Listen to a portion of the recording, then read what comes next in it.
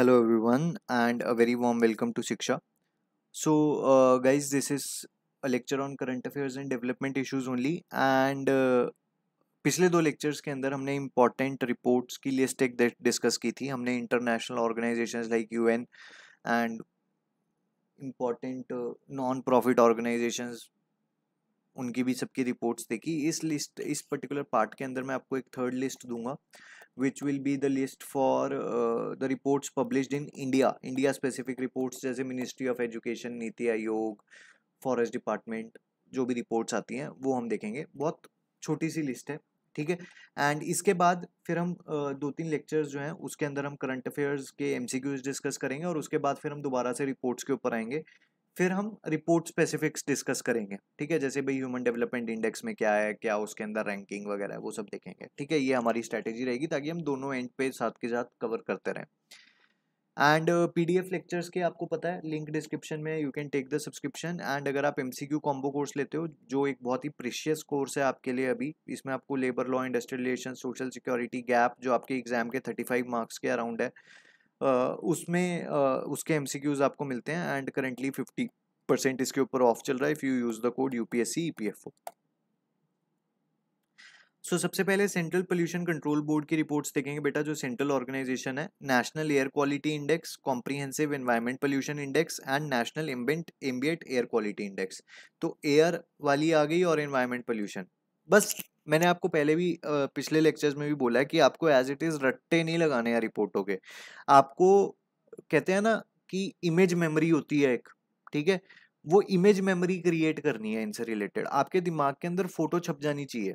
Photo छापनी है हमने। हमने रट्टा नहीं लगाना एज पूरा पूरा वर्ड का रट्टा कि भाई मेरे सामने जब ऑप्शन आए तब मेरे को क्लियरली मेरी वो इमेज मेरे माइंड में क्लिक कर जाए कि हाँ ये वाली रिपोर्ट तो इसके अंडर थी, ठीक है? उसके बाद लेबर ब्यूरो ये इंपॉर्टेंट है लेबर लॉज के पॉइंट ऑफ़ व्यू से भी all India survey on migration एक तो ये रिलीज़ करता है, ये 205 को इग्नोर करेंगे आप and all India quarterly establishment based employment survey release करता है। नीति आयोग की जो रिपोर्ट्स हैं, अब इसके अंदर कुछ रिपोर्ट्स ऐसी होती हैं जो एनुअल रिपोर्ट्स नहीं है, जो वन टाइम उन्होंने रिलीज़ कर दी, लेकिन इंपॉर्टेंट है क्योंकि वो पूछ लेता है। Responsible A I S D G India index S D G urban index data governance quality index share energy and climate index composite water management index India booming gig and platform economy strategy for new India at seventy five ठीक है, अब जैसे strategy for new India at seventy five तो question में एक बार UPSC ने पूछा भी है।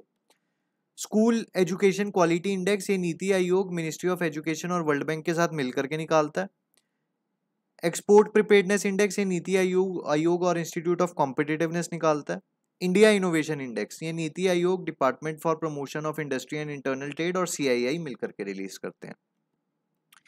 मिनिस्ट्री ऑफ़ हाउसिंग अफेयर्स आपका एक तो ईज ऑफ़ लिविंग इंडेक्स निकालता है twenty twenty all India level पर रिलीज़ किया था इन्होंने लास्ट स्वच्छ सर्वेक्षण रिपोर्ट निकालता है। National crime records bureau crime in India report and accidental death and suicide report release करता है। आरबीआई आपका फाइनेंशियल इंक्लूजन इंडेक्स और फाइनेंशियल स्टेबिलिटी रिपोर्ट रिलीज़ करता है।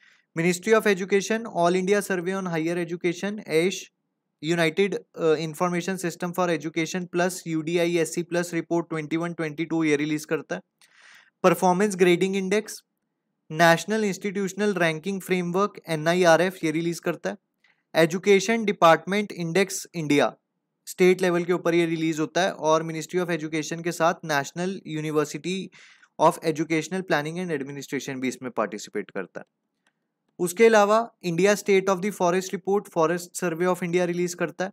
State food safety index food safety and standards authority of India F release करता है।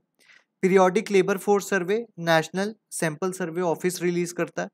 Payroll reporting in India national statistical office ये भी इंपॉर्टेंट रहेगा। आपका स्पेसिफिकली uh, अगर मैं बात करूँ लेबर लॉज के पॉइंट ऑफ़ व्यू से। Business confidence index national council of applied economic research state energy efficiency index, ये बी जो आपका ब्यूरो ऑफ़ एनर्जी एफिशिएंसी है और alliance for energy efficient economy A triple E ये मिलकर के रिलीज़ करते हैं।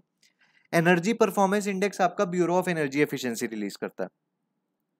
RESIDEX national housing bank internet in India report internet and mobile association of India और एसर जो आपकी annual survey of education report है, इसको प्रथम रिलीज़ करती है, जो एक एनजीओ है। काफ़ी इंपॉर्टेंट रिपोर्ट है ये भी। उसके अलावा logistics is across different states index इसको लीड्स बोलते हैं मिनिस्ट्री ऑफ़ कॉमर्स रिलीज़ करता है इसको। National family health survey ministry of health and family welfare public affairs index public affairs centre ठीक है? बहुत ज़्यादा इंपॉर्टेंट नहीं है ये वाली report India justice report important है टाटा ट्रस्ट रिलीज़ करता है। ग्रीन एक्स ग्रीन इंडेक्स जिसको बोलते हैं बॉम्बे स्टॉक एक्सचेंज रिलीज़ करता है। वैसे ही आपका एक म्यूनिसिपल बॉन्ड इंडेक्स होता है, उसको नेशनल स्टॉक एक्सचेंज रिलीज़ करता है। तो बीएसई और एनएसई दोनों की अलग अलग है, याद रखेंगे।